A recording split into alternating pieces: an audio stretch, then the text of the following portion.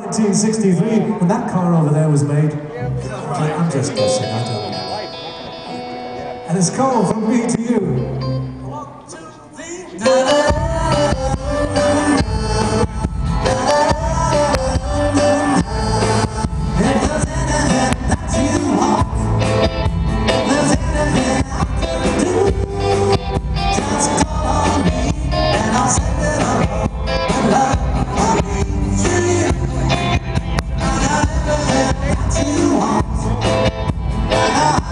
To hold